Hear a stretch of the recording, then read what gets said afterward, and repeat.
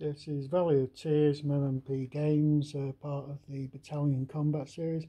This is just a quick update. Um, I'm putting the game off to one side at the moment. So I'm going to have a, an eye operation tomorrow. That means I'm going to be out of action for probably a couple of weeks anyway.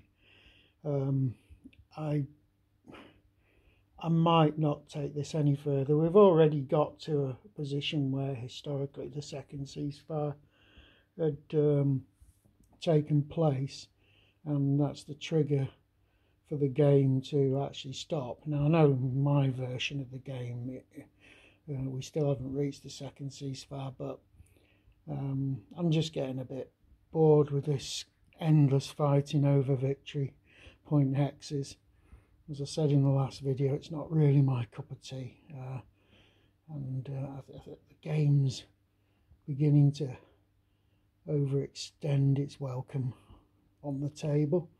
Now, I love the system, don't get me wrong, BCS is a brilliant system. I just don't think... Um, I don't think that the end of this campaign is really very satisfactory.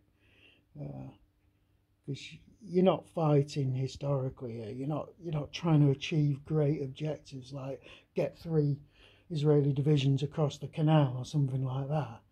You're saying you, you just you just taking over hexes, and they're just being swapped units, particularly on the uh, Sinai front. You,